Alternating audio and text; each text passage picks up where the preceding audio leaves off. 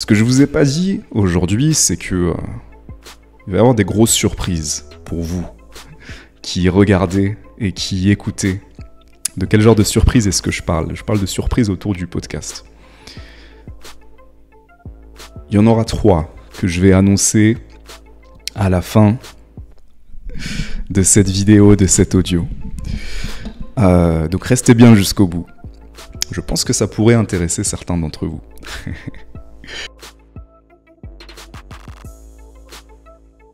On y est. Premier podcast en solo avec les caméras, ou plutôt avec toi qui écoute de l'autre côté, avec vous. J'ai euh, décidé d'intituler ce podcast en solo Le courage d'être soi. Et je vais en profiter pour euh, parler de ce qui me traverse en ce moment et aussi répondre à des questions euh, récurrentes que j'ai de votre part.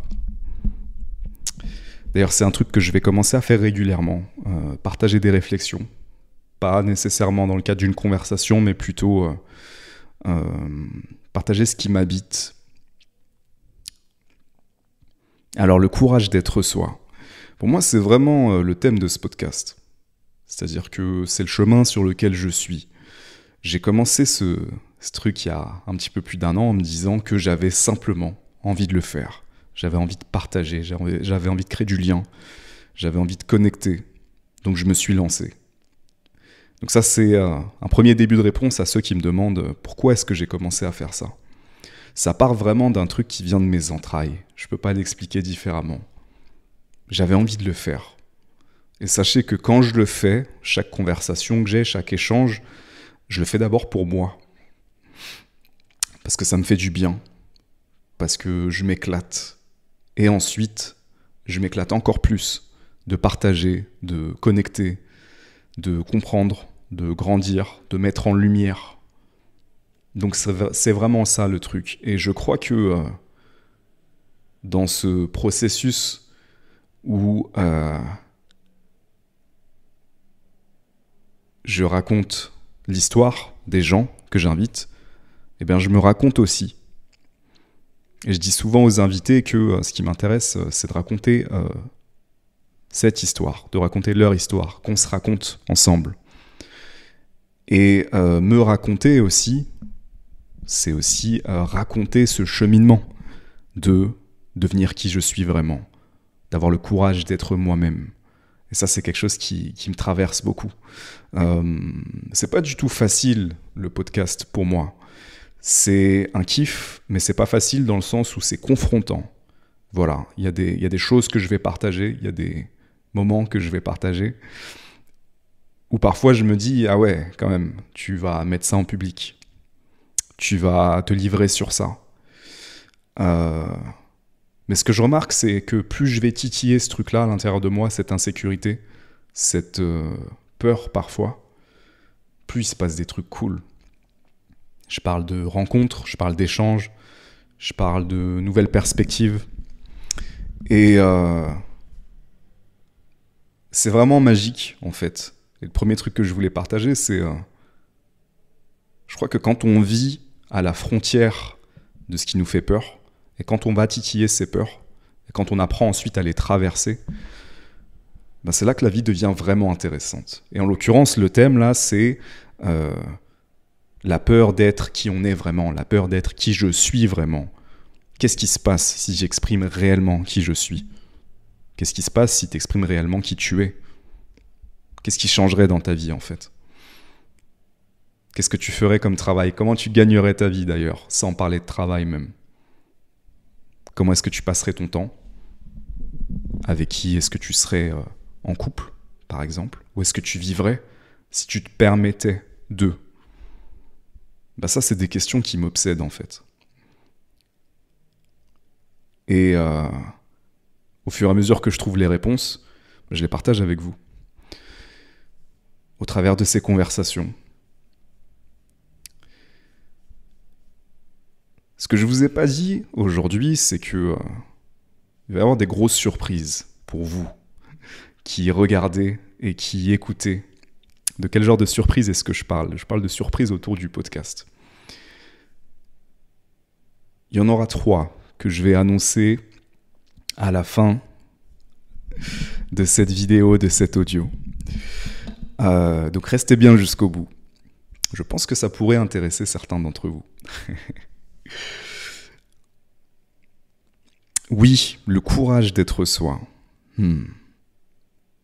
Pendant très longtemps, euh, c'est tout le paradoxe en fait. Pendant très longtemps, je crois que j'avais peur de réellement exprimer ce qui me rend unique, original. Et quand je dis ça, euh, je n'y voyais pas une prétention. C'est quelque chose qui m'a coûté en fait, c'est quelque chose qui m'a pesé d'être toujours un petit peu euh, décalé, toujours un petit peu euh, incompris. et pourtant, tout le paradoxe aujourd'hui, c'est que plus je mets ça en avant, moins j'arrête de le cacher, et plus ma vie devient intéressante, et plus je me sens bien, et plus je me rends compte euh, ce dont je suis capable et là où je suis utile. Donc aujourd'hui, pour moi, ça passe euh, par le podcast, ça passe par ce que j'écris, ça passe par euh, une autre manière de travailler aussi. Mais il y a un truc qui est en train de se passer. Et donc la raison pour laquelle je partage ça aujourd'hui, c'est parce que humblement, j'aimerais pouvoir semer cette graine chez toi qui écoutes, que tu te poses cette question de quelle direction et quelle couleur prendrait ta vie si tu te permettais d'exprimer ce qui te rend toi unique. C'est pas du tout facile, je suis pas en train de dire que c'est facile, parce que la vérité c'est que quand on va sur ce chemin, on peut autant trouver sa tribu, parce que ça c'est une question, c'est un échange récurrent que j'ai aussi avec vous, notamment quand on rentre dans des conversations assez euh, profondes par des messages, c'est euh, est-ce que tu trouves pas ça difficile d'être seul? Et forcément, euh, la solitude fait partie de ce chemin. Le chemin de je m'approprie qui je suis, je l'exprime dans le monde. En tout cas, ça peut créer de la séparation. Ça peut créer de la résistance de la part de certaines personnes, amis, collègues de travail, famille même. Et pourtant, il y a quelque chose de profondément libérateur. J'ai même envie de dire que c'est là que la vie commence vraiment. C'est là qu'on que le chemin, que l'aventure commence vraiment. C'est là que ça commence à être savoureux. Mais effectivement, euh, il peut y avoir de la résistance. Ça fait partie du truc. Et alors Je crois que j'ai pris une décision euh, très importante il y a plusieurs années. Je ne saurais pas dire le moment exact, mais je sais que je devais être adolescent. Et il y a un moment où en fait j'ai décidé que j'allais vivre ma vie selon mes propres termes et que j'allais la construire telle que moi je l'envisageais, sans forcément suivre un modèle préétabli proposé par quelqu'un d'autre. Alors ça c'était euh, une décision qui n'a pas été concrète, en tout cas pas suivi d'acte à l'époque. Mais je pense que c'est un truc qui m'a suivi depuis. Et cette question, toujours, qui est-ce que je suis? Qu'est-ce que je veux être Et c'est quoi la vie que je veux vraiment en fait? Des questions euh, essentielles qu'on se pose pas assez, je trouve.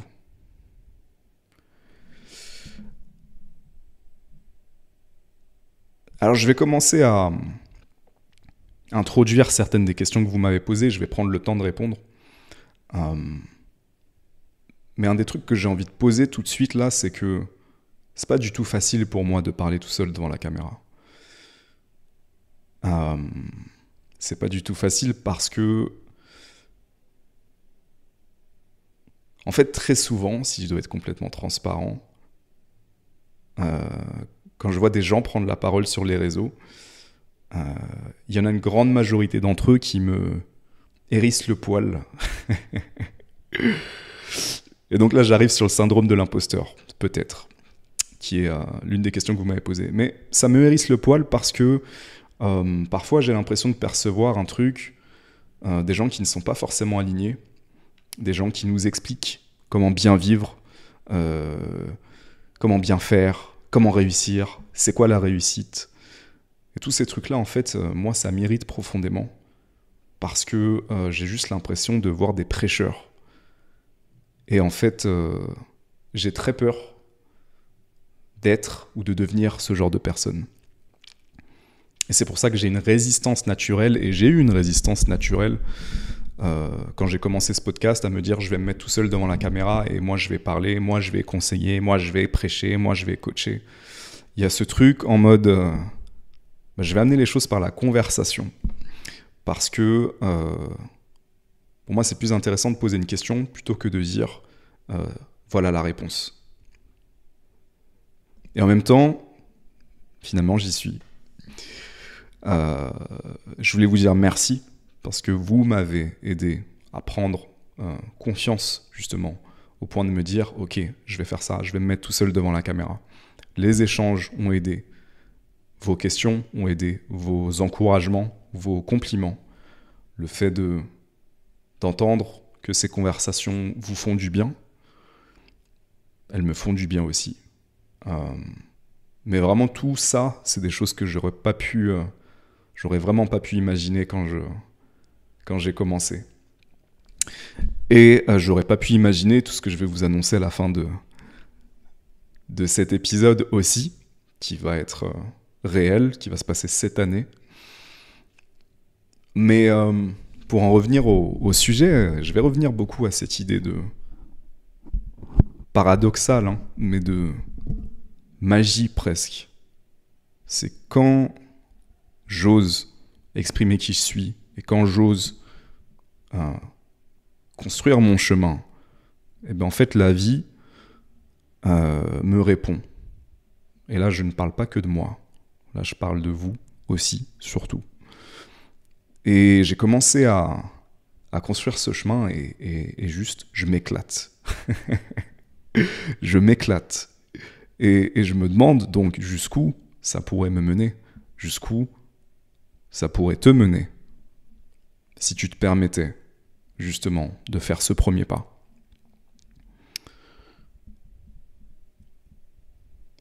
Donc ça, c'était pour ce que j'avais à vous dire.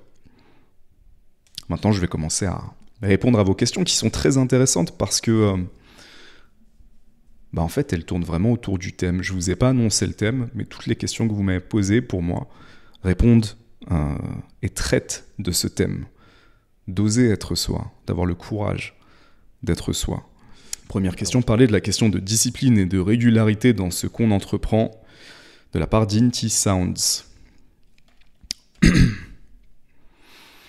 la discipline et la régularité. Euh, alors je vais commencer par dire que euh, naturellement, je suis pas quelqu'un de très discipliné, euh, que j'ai un tempérament très créatif qui fait que euh, je connais très bien l'indiscipline. Et en même temps, j'ai appris euh, avec le temps à développer une discipline. Qu'est-ce qui m'a aidé? Mais Je crois que ce qui est important, c'est que la discipline ne doit pas être une souffrance. Je pense que la discipline doit être un plaisir. Comment est-ce que la, discipline peut être un plaisir? Comment est-ce qu'on peut transformer euh, quelque chose de désagréable euh, en un plaisir? Bah Pour moi, la première piste, c'est déjà de définir ce qu'on veut et pourquoi on le fait. Donc moi, par exemple, euh, je me réveille généralement à 5 heures du matin. Je dis bien généralement parce que c'est pas toujours le cas. Ça peut m'arriver le, week-end de, prendre un peu plus de temps, et puis selon les circonstances. Mais généralement, je suis un mec qui se réveille à 5 heures du mat, qui va faire son sport le matin, qui va ensuite lire, etc. etc. Pourquoi est-ce que je le fais? Si c'était juste parce que j'étais quelqu'un de discipliné euh, et que euh, j'étais quelqu'un qui aime la souffrance, je ne le ferais pas. La vérité, c'est que j'y trouve quelque chose qui me fait énormément de bien. C'est-à-dire que même sans penser au lendemain, à partir du moment où j'ai fait mon sport, où j'ai lu quelques pages d'un bouquin, où j'ai pris ma douche, mon petit-déj, qu'il est 6h30 du matin, eh bien je me sens bien en fait. Et j'ai une énergie de fou. Et donc ça, ça rend les choses plus faciles pour moi, pour dire, eh bien demain je le fais encore. Parce que euh, je trouve un plaisir dans cette routine. Et parce que je sais vers quoi ça me mène. Donc les deux trucs, en fait, que je dirais, c'est ça. Euh, je crois que quand on lâche, c'est parce qu'on n'a pas une raison suffisamment forte de continuer. Et ou on ne trouve pas suffisamment de plaisir dans le fait de mettre une brique quotidiennement. Si je dois construire un mur, eh ben, ce sera brique par brique. Et je dois prendre plaisir chaque jour à poser cette brique. Ça, c'est les choses qui m'aident. Donc personnellement, je ne peux pas vraiment être discipliné pour un truc euh, qui m'intéresse pas ou qui me fait pas plaisir. Par contre, euh, s'il y a une vision qui m'attire vraiment parce qu'elle est très lumineuse et parce qu'en plus de ça, dans le fait d'accomplir cette vision, d'aller vers cet objectif, de suivre cette direction, je peux trouver des gratifications, je peux me sentir fier de moi, je peux avoir ces petites victoires. Là, je vais beaucoup plus facilement pouvoir être discipliné et régulier. C'est-à-dire accompagner cette discipline euh, d'un plaisir, d'une victoire, mais aussi petite soit-elle. C'est-à-dire qu'il y a des moments où, euh, bah, si je me réveille un peu plus tard que prévu, je ne vais pas pouvoir euh, faire 30-40 minutes de sport, ok, c'est ok. Pour moi, la discipline aujourd'hui, c'est de dire, ok, bah, vas-y, fais quelques pompes. Ok, t'as pas le temps de lire 10 pages de bouquin, ok, lis une page. Donc avoir une version euh, plus light de ma routine, ça m'aide. Ouais. Et en même temps, me laisser des espaces où euh, parfois je suis pas discipliné. Ça aussi, ça me permet justement de recharger. Hum, dans tout ce que je dis, en fait, ce qui se passe, c'est que moi, j'ai trouvé ma recette. Et je dis pas que c'est la recette finale, la recette ultime, mais je pense que c'est important aussi que chacun puisse trouver sa recette. Voilà ce que j'ai à dire sur euh, la discipline.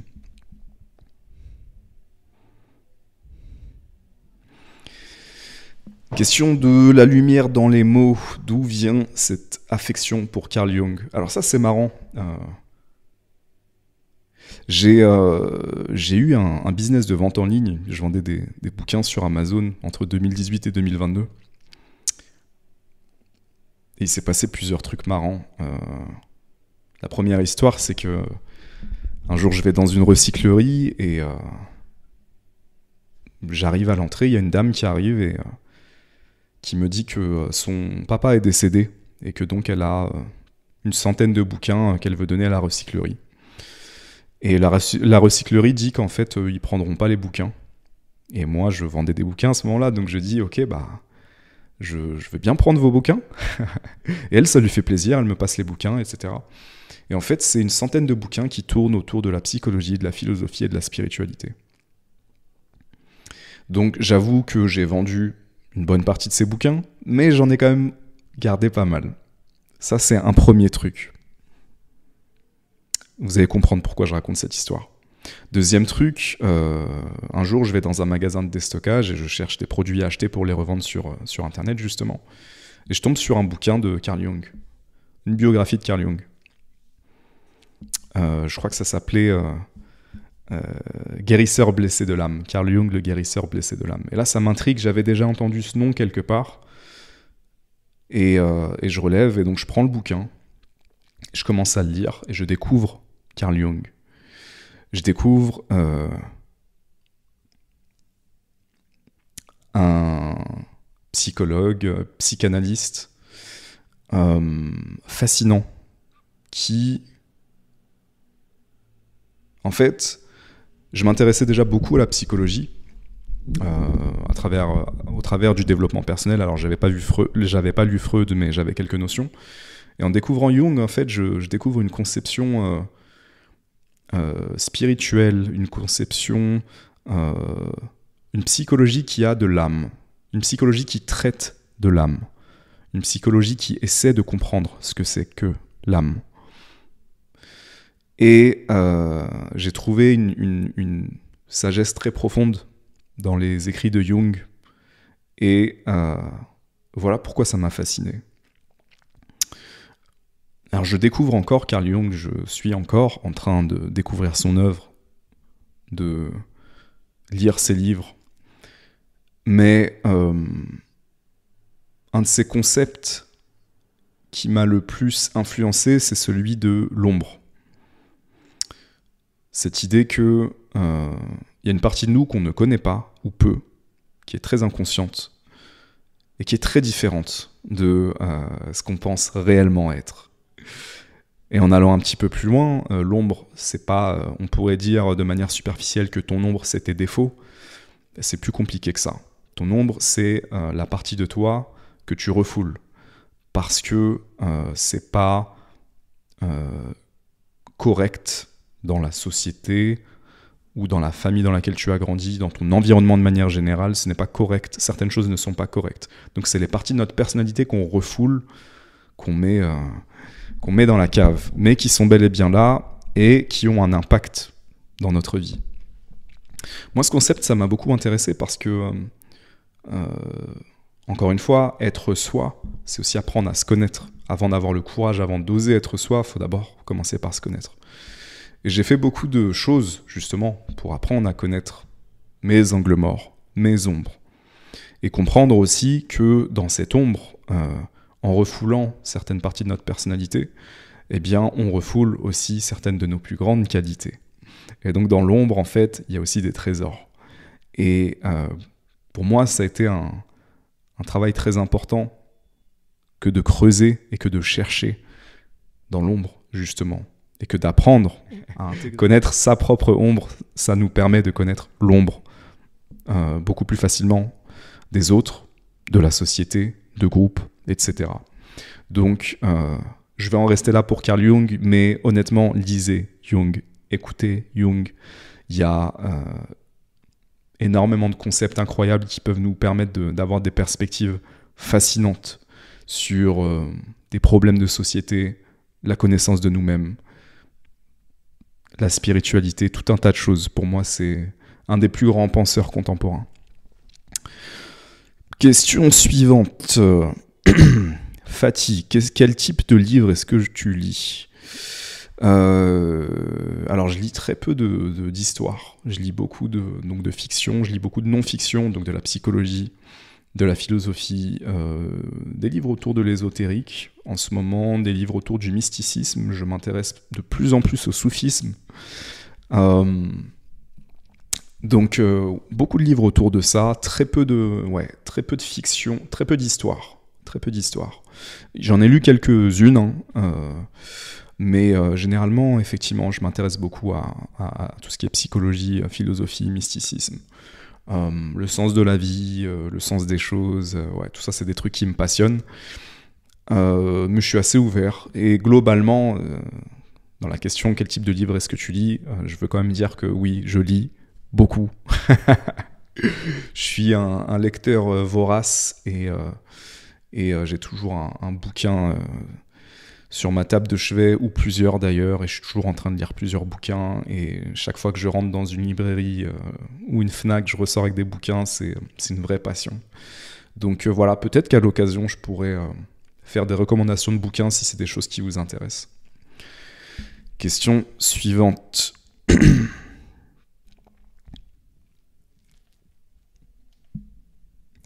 si tu devais avoir un conseil pour avoir une vie en paix et alignée avec nous, Lequel serait-ce, Angela?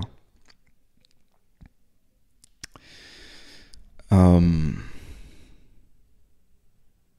Alors déjà, je dois dire que je sens dans cette question euh, une blessure assez profonde. Euh, et, et, ce que j'ai envie de dire, c'est... Déjà, pour être en paix, il faut faire la paix. Pour être en paix, il faut faire la paix. Il faut faire la paix avec le passé. Euh, on peut pas faire la paix avec le passé avant de regarder le passé en face, avant de regarder la blessure originelle en face. Une fois qu'on la regarde en face, euh, on peut laisser l'émotion qui doit être ressentie, quelle qu'elle soit, de la tristesse, de la colère, s'exprimer. Et ensuite, on peut faire le taf nécessaire pour cicatriser. Thérapie, euh,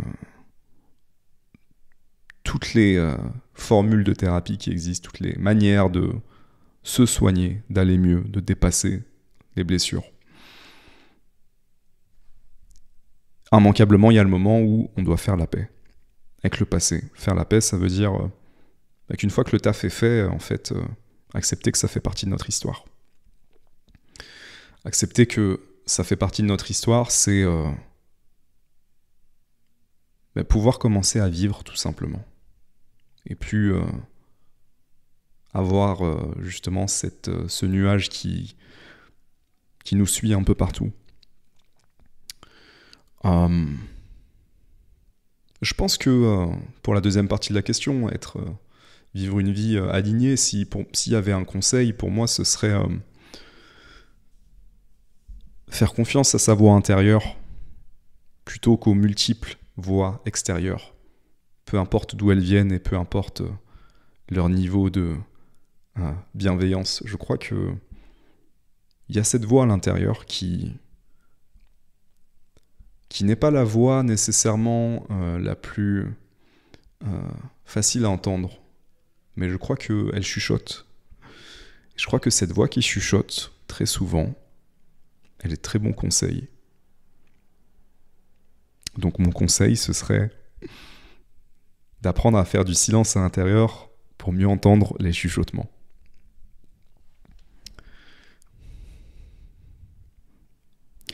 Question suivante de Delphine. Ne plus se forcer à faire ce que nous ne voulons plus faire et ne plus retenir ce que nous avons envie de dire est-il source d'isolement? D'abord ça. Donc je recommence, ne plus se forcer à faire ce que nous ne voulons plus faire et ne plus retenir ce que nous avons envie de dire est-il source d'isolement?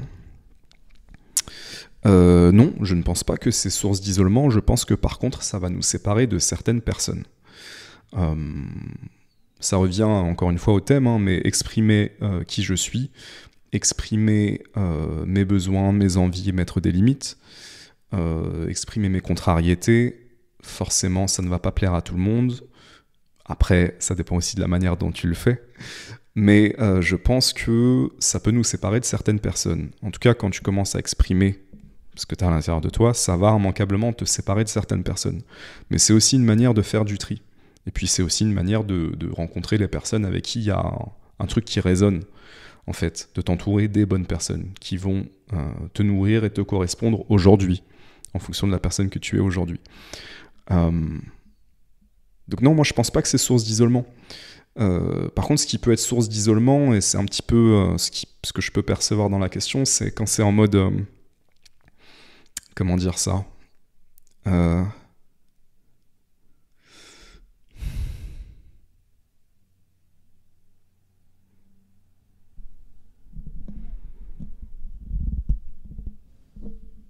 Il y a des gens qui sont à fleur de peau il y a des gens qui sont un petit peu à fleur de peau et qui peuvent se sentir euh, offensés par tout et par rien. Euh, et, quand ce genre de personne qui est à fleur de peau commence à exprimer euh, cette. c'est plus que de l'hypersensibilité, c'est c'est de la. alors je trouve pas le mot, mais c'est une manière presque. Hmm, c'est une fébrilité euh, qui peut être exprimée euh, euh, de manière pas toujours contrôlée, je vais dire ça comme ça. Et bien là, effectivement, quand on est comme ça, on peut vivre en boucle la même chose, c'est-à-dire des réactions négatives et, le fait de dire, ok, non, cette personne est trop, cette personne est trop. Donc pour moi, il y, a y a, cet équilibre à trouver, il y a cette introspection aussi à faire. Euh, à quel moment est-ce que ça vient de moi? À quel moment est-ce qu'on me renvoie à l'extérieur vient de moi? Parce que quand on vit une expérience en boucle, euh, en général, c'est pas que de la faute des autres. Il y a aussi un truc à l'intérieur qui fait qu'on active ce genre de réaction et qu'on active ce genre d'expérience. Donc ça, c'est euh, un petit élément de réflexion. voilà pour une réponse sur les plusieurs angles auxquels me fait penser cette question. Il y avait autre chose c'est en matière de relations amoureuses, suis-je condamné à finir ma vie seul célibataire? Bah, en fait, oui, tu es condamné à finir ta vie euh, seul et célibataire si c'est l'affirmation que tu te fais régulièrement. Je suis condamné. Bah, si tu penses que tu es condamné, tu es certainement condamné. Euh, mais euh, tu peux aussi déposer ce truc-là et, et, penser que, au contraire, cultiver l'idée que tu n'es pas condamné, que tu n'es pas en prison, qu'il n'y a pas de sentence sur toi, qu'il n'y a pas de malédiction, que euh, tu peux faire une rencontre en fait, que c'est possible, peu importe les circonstances, peu importe le contexte, peu importe ton histoire. Euh, avant de, avant que ce soit possible, je pense qu'il faut déjà que tu intègres que euh, techniquement c'est possible et que t'es pas condamné. Par contre, tu peux te condamner tout seul. Tu peux toi mettre la sentence.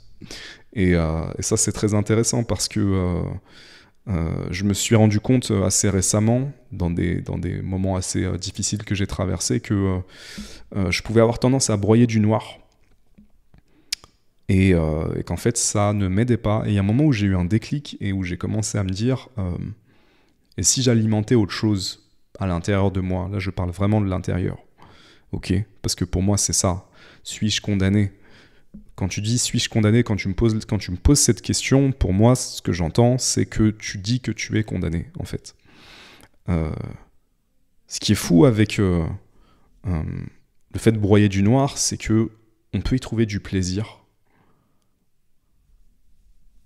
Tu vois, c'est comme un, chocolat chaud qui, te, qui te console. C'est ton plaisir de, te raconter cette histoire.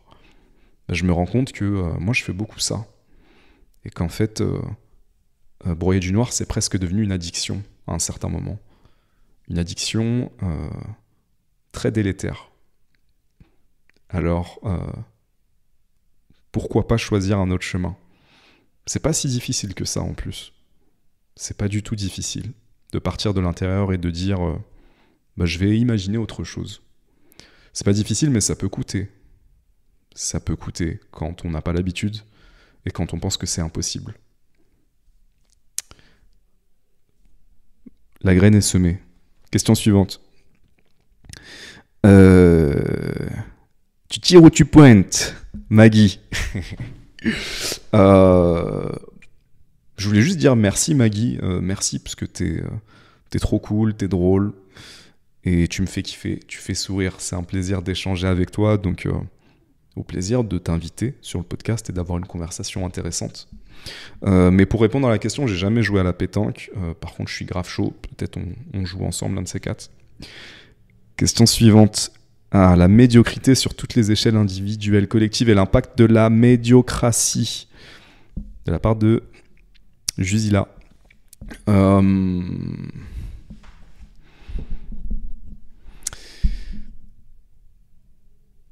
Ouais, moi ça me parle beaucoup. La médiocrité, c'est quelque chose qui me parle beaucoup parce que euh, je crois qu'à un moment, je me suis dit que j'avais pas envie d'être un médiocre et que euh,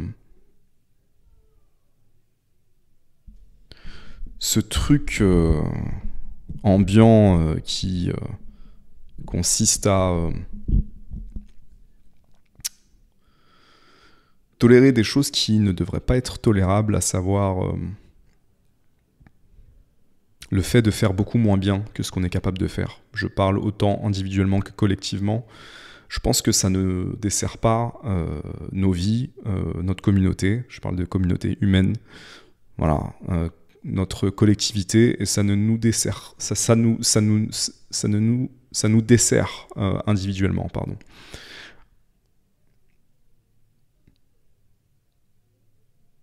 Et je reviens à cette question que j'ai posée en préliminaire, c'était... Euh, je vais peut-être la prolonger.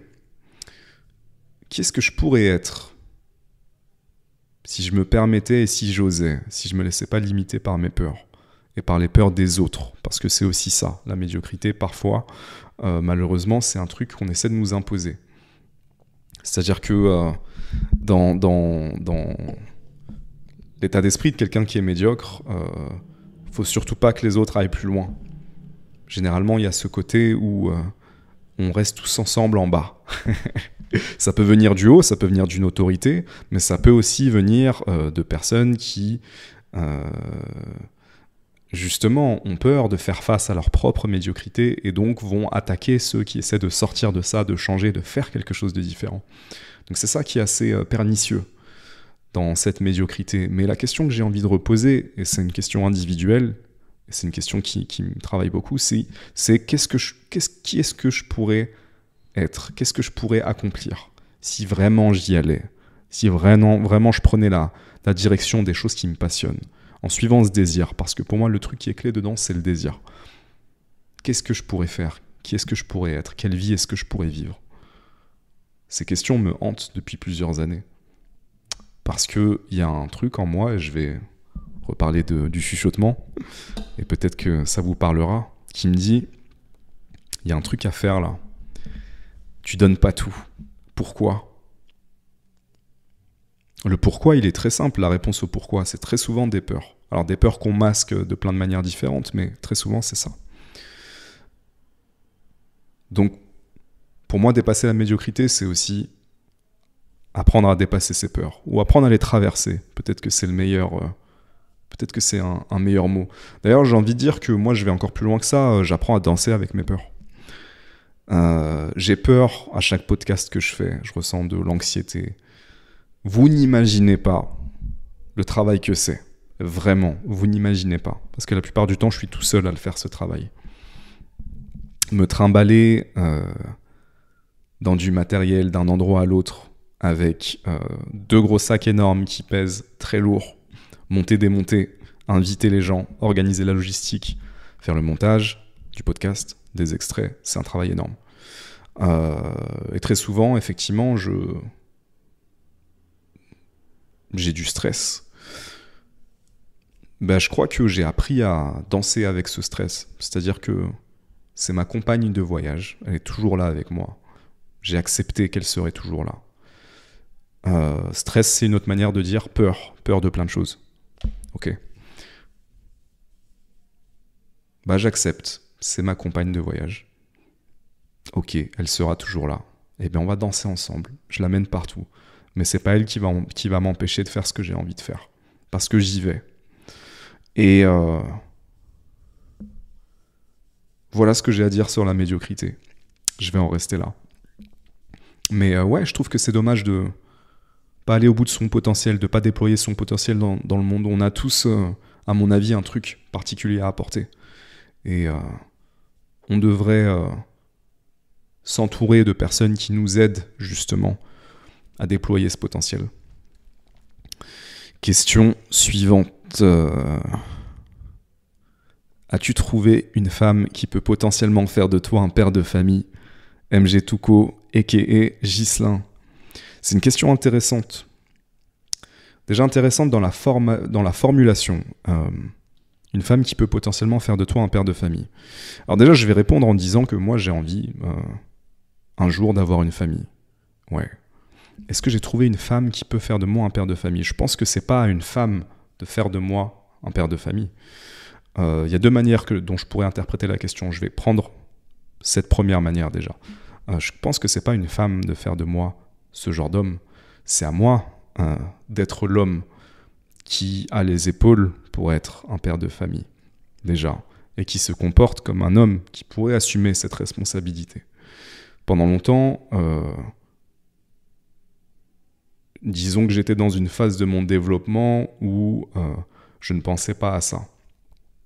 Maintenant, j'arrive à un âge où je pense à ça et où je commence à avoir euh, cette envie naissante. Donc, euh, en fait, moi, je prends le truc à l'inverse. Pour moi, c'est à moi de devenir cet homme. Et là, quand je suis cet homme, eh bien, je peux rencontrer cette femme et faire ce projet. Donc c'est, ça vient de l'intérieur pour moi, encore une fois, ça ne vient pas de l'extérieur. Et c'est pas une femme euh, de faire un homme, de la même manière que c'est pas un homme de faire une femme. Euh, donc ça c'est très important, cette euh, individualité, cette maturité, cet ancrage. je trouve que mettre notre ancrage à l'extérieur de nous, c'est quelque chose de dangereux. Donc ça c'est la première chose. Deuxième chose, si je prends une deuxième interprétation de cette question, ça pourrait être euh, est-ce que j'ai rencontré une femme euh, avec qui j'aurais pu euh, créer une famille? Bah, La réponse, c'est oui. J'en ai rencontré plusieurs même. Simplement, moi, j'étais pas prêt. C'est pas ce que je voulais à l'époque. La relation n'a pas fonctionné. Peut-être qu'il n'y avait pas de compatibilité. Mais oui, j'ai connu ce genre de femmes qui voulaient faire un projet familial et qui euh, seront un jour, je pense, de très bonnes mères, et, c'est tout ce que je leur souhaite. C'est juste que c'était ni le bon moment, ni les bonnes personnes. Voilà. Donc euh, là, je pense que j'ai fait le tour de la question. Question suivante. Euh, Swafia, le dark side de la clairvoyance, pour l'interrogation. C'est quoi le dark side de la clairvoyance? Déjà, en essayant de définir ce que c'est que la clairvoyance, je dirais que quelqu'un de clairvoyant, c'est quelqu'un qui a une très forte intuition, qui est capable de lire assez facilement les gens et, parfois même d'anticiper euh, euh, des événements. Alors c'est quoi le dark side de la clairvoyance? Hmm. Je pense que le dark side de la clairvoyance, euh, c'est tout ce qui tourne autour du pouvoir, prendre pouvoir, essayer de prendre du pouvoir sur les autres. Euh, essayer de reprendre, essayer de prendre l'ascendant sur les autres en utilisant cette sensibilité, cette intuition très développée qui permet de comprendre quels sont les points forts, les points faibles de l'autre, quels sont ses désirs les plus profonds, quels sont ses complexes. Euh, et je crois que je crois que c'est ça le dark side de la clairvoyance. Une autre manière de, prolonger cette idée, c'est de dire que euh, parfois prendre l'ascendant sur l'autre ou ou prendre du pouvoir sur l'autre, ça peut se faire de manière très déguisée, ça peut se faire de manière très bienveillante. D'accord? Mais rendre l'autre dépendant de soi, par exemple rendre l'autre dépendant de certains conseils, en en donnant un petit peu, mais pas trop, pour que la personne revienne, ou euh, en étant... Euh, euh, là pour prendre l'ascendant quand l'autre ne va pas bien, pour le tyranniser. Tout ce genre de choses, pour moi, c'est le dark side de la clairvoyance. C'est-à-dire que tout ce qui tourne autour du pouvoir, d'essayer de prendre pouvoir sur l'autre, d'essayer de prendre ouais, une forme d'emprise. Euh, et ça peut aller beaucoup plus loin, ça peut, aller jusqu'à essayer de détruire l'autre. Euh, donc effectivement, euh, alors, je me définis pas comme quelqu'un de clairvoyant. Je dis simplement personnellement que j'ai une intuition très développée, mais je dois avouer que je ressens très fortement cette possibilité de d'exercer mon pouvoir sur d'autres personnes. Et ça, j'avoue que c'est quelque chose qui me fait très peur parce que j'ai pas envie d'entrer euh, là-dedans. Alors je dis pas que je le fais pas euh, parfois euh, dans ma vie, personne n'est parfait et, moi non plus, mais c'est un truc qui me... Ouais. c'est un truc qui m'habite, effectivement. Donc voilà, pour moi c'est ça le dark side de, la clairvoyance, ces envies de pouvoir.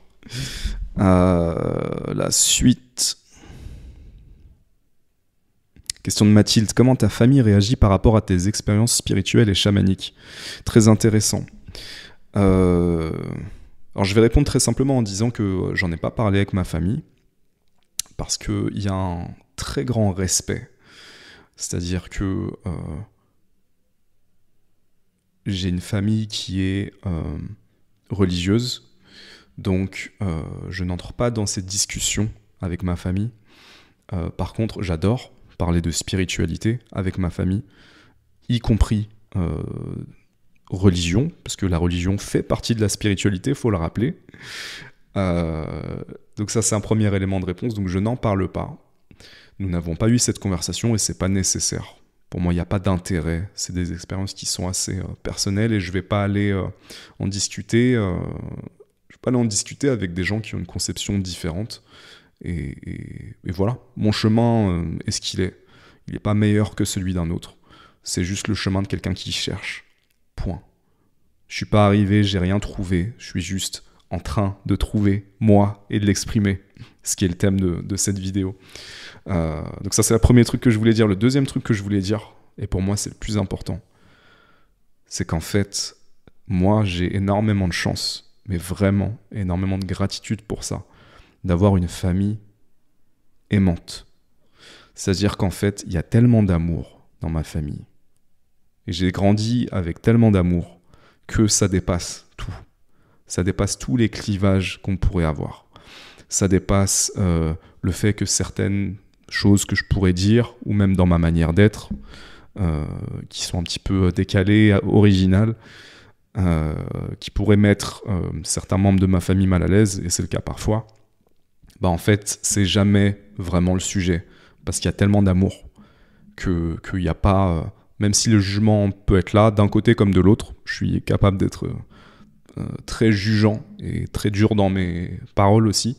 Mais en fait, il y a toujours cette fondation d'amour qui fait que on arrive toujours à, revenir à l'essentiel. Donc euh, pour ça, j'ai énormément de gratitude et, je voulais répondre aussi ça à cette question parce que c'est le plus important. En fait, c'est l'amour qui prime chez nous et pour ça, j'ai j'ai beaucoup de chance. Pour ça, j'ai beaucoup de chance.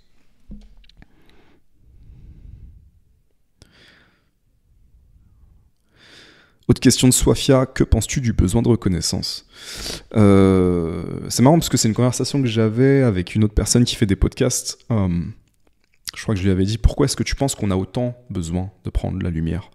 Et cette personne m'avait répondu parce que on n'était pas suffisamment écouté étant enfant. Et c'est exactement ça. Euh, j'ai un grand besoin de reconnaissance. J'ai un grand besoin de reconnaissance, ça fait partie de mon ego. Le fait de reconnaître ça, euh, ça me permet de le caler d'une manière saine en disant Ok, euh, Mourad, fais pas genre, t'as pas ce besoin de reconnaissance, t'as ce besoin de reconnaissance. Ok, qu'est-ce que t'en fais? Bah tiens, j'ai envie de faire un truc où euh, je vais un petit peu briller, je fais des podcasts. Ok, super. Et ce qui est marrant, c'est que là, je l'ai placé de manière saine et c'est un moteur qui me fait avancer. Je suis plus en train de repousser ce truc en me disant non, je suis pas comme ça, etc. Si, je suis comme ça. Pourquoi ça devrait être un problème? C'est pas un problème. Si je le trouve comme ça, si je le pose comme ça. Maintenant, si je fais le mec qui dit j'ai pas un besoin de reconnaissance, alors que en fait si, mais du coup je le refile, je le, je le repose dans la trappe dont je vous ai parlé tout à l'heure, mon ombre. Donc je refoule cette partie de ma personnalité.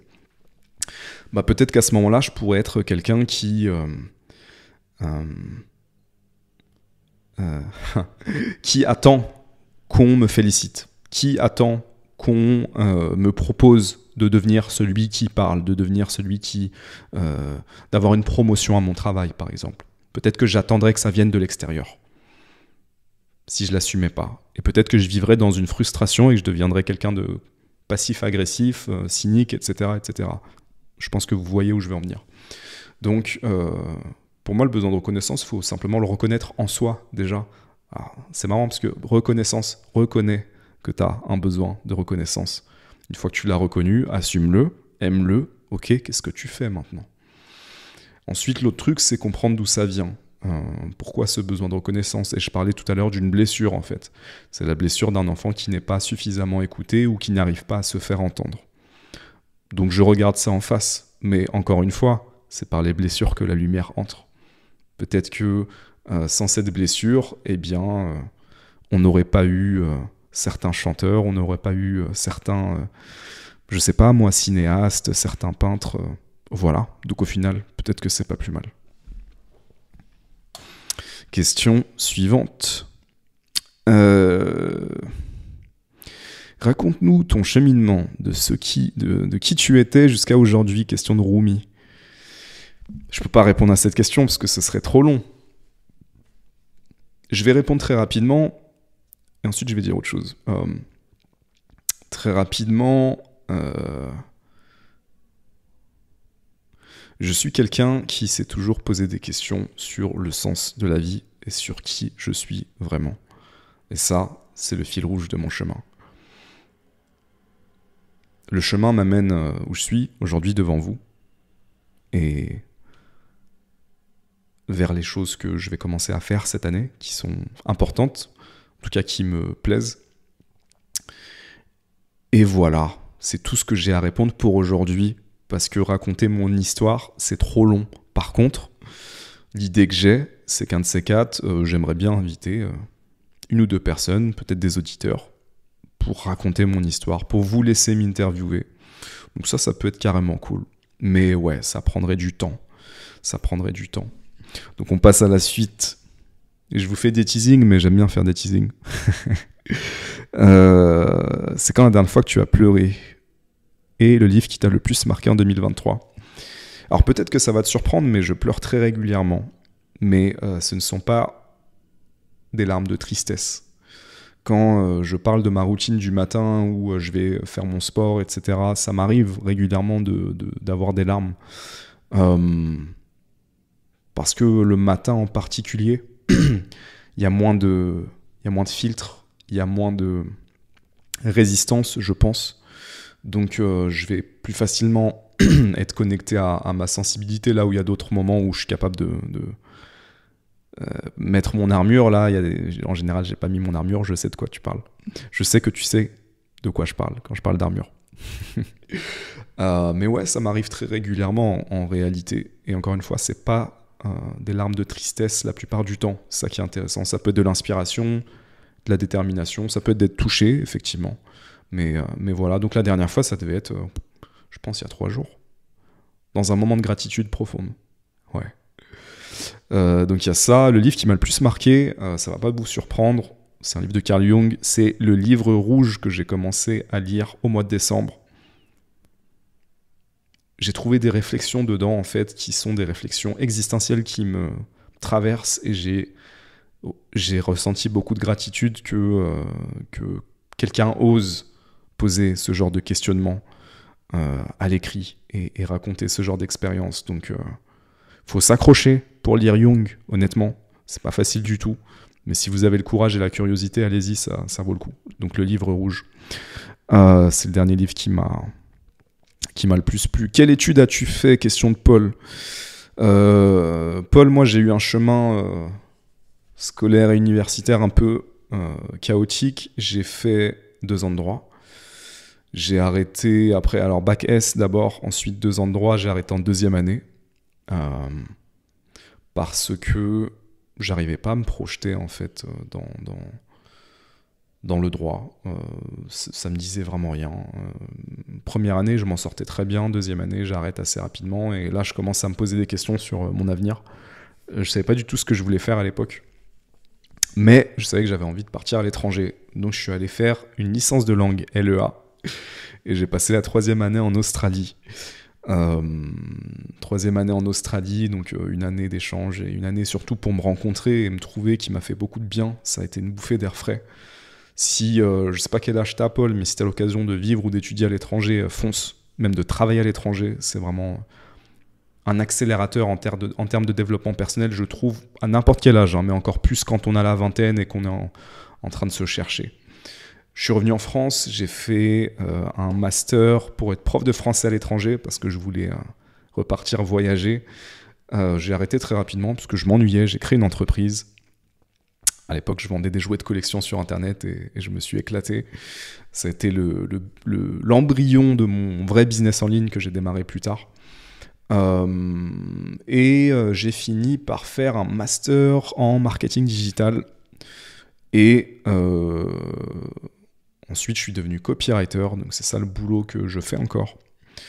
Euh, c'est-à-dire copywriter, c'est quelqu'un qui écrit des pubs euh, pour les pages de vente, pour euh, des scripts vidéo, pour toutes les personnes qui, vendent des choses sur Internet. Donc, dans ce travail, ce qui est marrant, c'est que ce travail, je l'ai trouvé dans une soirée. je raconterai l'occasion, un de ces quatre, mais c'est pas du tout un, truc traditionnel. Donc, voilà pour mon, chemin sur, les études. Euh, question suivante. Euh, peut-on faire une erreur et par conséquent rater sa destinée? Question de Blue Tokyo. Je pense pas qu'on puisse faire une erreur et rater sa destinée. Euh, je pense pas qu'on puisse réussir ou rater sa destinée. Je pense que cette destinée, elle vient nous chercher. Et elle est très patiente et elle vient, en fait. Euh, elle s'impose à nous. Pour moi, la destinée s'impose à nous par définition, donc on ne peut pas la rater. Par contre, je pense que c'est possible d'avoir le de ne pas avoir le courage euh, de réaliser une belle destinée. Et, euh, Je vais m'arrêter là pour cette question. Euh, question de Sitka. Qu'est-ce qui pour toi est essentiel, voire fondamental dans la vie?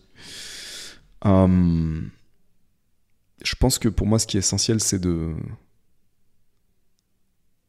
créer ton propre chemin. Écrire ta propre histoire. Ce qui est essentiel, c'est ça, c'est la question suivante, c'est quelle histoire est-ce que tu as envie d'écrire? Quelle histoire est-ce que toi tu as envie d'écrire?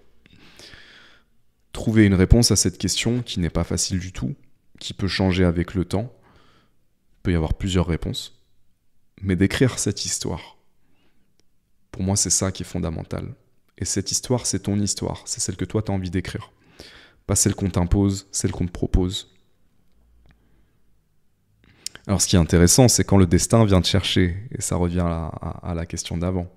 Et je vais vous en parler euh, dans quelques minutes, vous allez comprendre pourquoi. Parce que parfois le destin vient te proposer quelque chose. Et tu vas regarder ça parfois et tu vas dire, ouais, en fait, ça c'est une histoire qui m'intéresse. Alors c'est une surprise, je m'y attendais pas, mais c'est une histoire qui m'intéresse. Est-ce que tu y vas? Est-ce que ou est-ce que tu n'y vas pas? Quelle histoire est-ce que tu as envie d'écrire? Question suivante. Euh, ah, c'est un commentaire. Charlotte, merci pour le podcast. Merci pour les podcasts inspirants. Merci à toi, Charlotte. Merci à tous pour vos messages, euh, commentaires, likes. Euh, merci à ceux qui suivent sur YouTube, Spotify. Franchement, ne vous retenez pas de liker, de dire ce que vous pensez, de commenter, d'envoyer des messages. C'est pour moi toujours un plaisir et ça me fait toujours chaud au cœur de voir que euh, bah, ça sert aux autres aussi.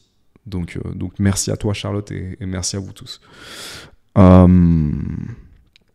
le, le syndrome de l'imposteur. Qu'est-ce que j'ai à vous dire sur le syndrome de l'imposteur? Moi, je pense que c'est très sain, le syndrome de l'imposteur. J'aurais plus tendance à me méfier de quelqu'un qui ne ressent pas le syndrome de l'imposteur avant de faire quelque chose de nouveau. Euh, donc je pense que c'est très sain de le ressentir, mais euh, je pense qu'il ne faut pas euh, être limité par le syndrome de l'imposteur. moi j'en ai un petit peu parlé au début, c'est un truc que je ressens carrément. c'est un truc qui fait que bah, je préfère prendre mon temps. Voilà. Pour moi, le syndrome de l'imposteur, ça ne veut pas dire ne le fais pas ou, ou prétends être qui tu n'es pas. Euh, pour moi, le syndrome de l'imposteur, euh, c'est aussi, euh, comme je disais tout à l'heure, la peur m'accompagne, bah, le syndrome de l'imposteur m'accompagne, c'est très bien. On y va étape par étape. Est-ce que je peux faire un petit pas? Est-ce que je peux aller le titiller, ce syndrome de l'imposteur? Est-ce que je suis obligé d'accepter ce qu'il me propose? Est-ce qu'il a forcément raison? Peut-être que le syndrome de l'imposteur, là, cette voix, peut-être qu'elle a tort. Allons vérifier. Ah ouais, tu me dis que je suis pas capable de faire ça, que je suis pas à la hauteur, que les autres sont meilleurs que moi, que j'ai pas fait ceci, que j'ai pas fait cela que j'y arriverai jamais, que ça va être une catastrophe, que euh, je vais me ridiculiser. Ah ouais, c'est ce que tu penses? Ok, d'accord. Vas-y, j'y vais. On va voir si t'as raison. Titiller un petit peu ce truc-là. C'est vraiment l'image que j'ai, c'est euh, vivre à la lisière de, mes peurs. Être toujours à la limite et aller chercher plus loin. Alors je suis pas obligé de, traverser le truc complètement, je peux pousser un petit peu plus chaque fois. Et pour moi, euh, c'est ça qui permet de, construire de conquérir pardon, le syndrome de l'imposteur. Euh, à condition, bien entendu, d'avoir envie. On revient à ce désir. Est-ce que j'ai envie de le faire? Oui, j'ai envie de le faire, mais ça me fait peur. Ok. Mais est-ce que la peur est pas justement euh, Est-ce que la peur c'est pas la boussole? Est-ce que c'est pas la peur ne montre pas la direction où il faut aller? Est-ce qu'il n'y a pas une évolution fondamentale qui nous attend justement à l'endroit où sont nos peurs. Donc voilà pour les, pour les questions. Euh, je vais m'arrêter là pour aujourd'hui, c'est déjà pas mal. Euh, j'ai quelques trucs à vous annoncer, alors on y va. J'ai trois choses à annoncer aujourd'hui. Trois surprises. La première chose, c'est que euh, je vais commencer à faire des accompagnements individuels. D'ailleurs, je vais, je vais corriger euh, cette affirmation. J'ai commencé à faire des accompagnements individuels parce que vous avez été plusieurs à me contacter en me disant est-ce que tu le fais? Et euh, j'ai dit non pendant longtemps et j'ai commencé à dire oui récemment. Donc, si c'est quelque chose qui pourrait vous intéresser d'avoir une conversation individuelle avec moi, euh, alors ce n'est pas en présentiel pour l'instant, c'est sur Internet, eh bien n'hésitez pas à me contacter sur Instagram ou m'envoyer un mail, mourad.tela.gmail.com. On peut discuter de ça. Si vous considérez euh, que certaines de mes perspectives pourraient vous aider, eh bien ce sera avec, euh, avec plaisir de d'échanger avec vous. Euh, voilà, donc n'hésitez pas à me contacter pour ça. Deuxième chose, oser être soi, le courage d'être soi. Ça va être le thème du livre que je vais écrire d'ici la fin de l'année. Parce que oui, j'avais annoncé que j'écrirais un livre. Ceux qui ne sont pas, ceux qui ne me suivent pas sur Instagram et qui écoutent sur YouTube, Spotify, Deezer ou autre, euh, peut-être que vous avez raté ça. Mais euh, effectivement, j'avais annoncé que, que j'écrirais mon premier livre cette année. Alors, il y a un recueil de poésie qui va sortir, mais il va y avoir ce livre et ce sera sur ce thème. Donc, je l'annonce ici et maintenant. Et on y va crescendo, parce que troisième et dernière surprise, il va y avoir un atelier sur le fait d'oser être soi. Cet atelier aura lieu au mois d'avril. Cet atelier euh, sera sur Paris, en très petit comité, donc les places seront très limitées, et ce sera avec une personne qui est venue dans le podcast que vous avez beaucoup apprécié, et moi aussi d'ailleurs, qui a énormément à offrir et qui m'a proposé de faire ce truc-là. Donc j'ai dit ok, on se lance. Je vais vous en parler très bientôt, c'est un teasing. Mais sachez que les informations seront partagées très bientôt. Euh, encore une fois, les places seront limitées, donc à partir du moment où on annoncera l'ouverture, il faudra être très réactif. Si ça vous intéresse, n'hésitez pas à me contacter. Voilà, voilà pour aujourd'hui et voilà pour les surprises. Donc je vous dis euh, à très bientôt. Je suis pressé de partager euh, ces conversations avec vous, en présentiel ou pas, en individuel, en podcast. Euh, c'est des trucs que j'aurais pas imaginé quand j'ai commencé ce truc-là, mais c'est des trucs qui viennent me chercher. Alors pourquoi pas? On revient un petit peu à cette idée de le destin se présente à toi, le, destin vient taper à ta porte. Ce destin, en tout cas ces trucs-là, c'est des trucs, si je suis complètement honnête, qui me sont chuchotés par cette petite voix à l'intérieur de moi depuis très longtemps. Donc euh, la question que j'ai envie de vous poser, c'est qu'est-ce que cette petite voix euh, vous chuchote? Qu'est-ce que cette petite voix te chuchote? Et euh, ça fait combien de temps que tu l'écoutes ou pas? Parce que si vous saviez, ça fait combien de temps que je pense à faire des podcasts, ça se compte en années. Alors je me suis lancé, je suis content, il y a encore des trucs à faire. Et donc, quelle histoire est-ce que tu as envie d'écrire? Si tu as apprécié ce podcast en solo, eh bien laisse-moi un commentaire, mets un like, abonne-toi si t'es pas abonné. D'ailleurs, si t'es pas abonné et que tu as écouté plusieurs podcasts, sache que tu es un ou une criminelle. Donc abonnez-vous et, euh, je vous dis à très bientôt pour de nouvelles aventures. Et j'ai encore beaucoup de choses à partager. Et merci. Voilà, merci surtout.